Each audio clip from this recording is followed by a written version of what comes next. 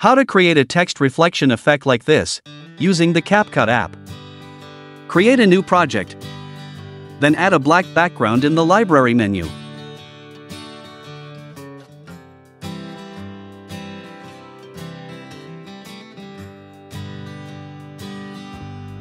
Continue opening the text menu. Tap Add Text. Then type the text you want.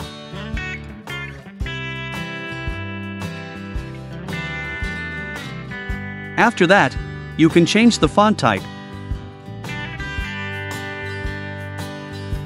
and increase the text size. Once you're done with your text, now take a screenshot. Then add another photo or video as the background.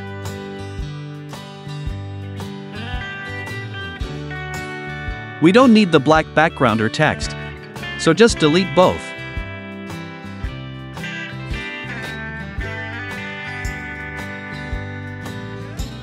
Continue adding the screenshot to the overlay track.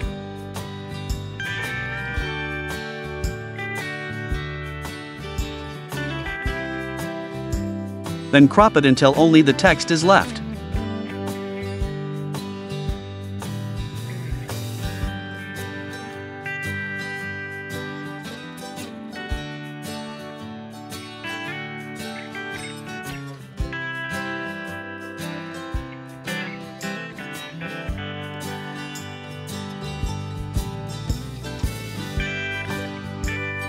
Remove the black background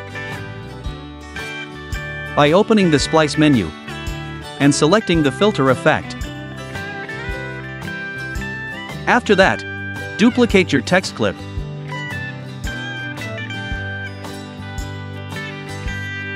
Then drag the duplicate to the bottom. And it must be aligned. Drag the second text below the first text then open Transform. Use the mirror effect. And also use Rotate two times.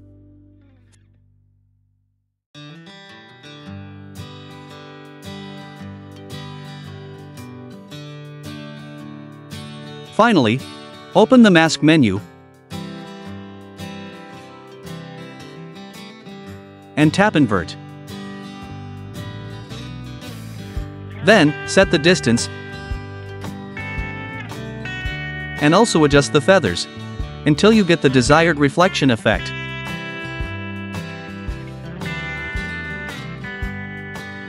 Finished.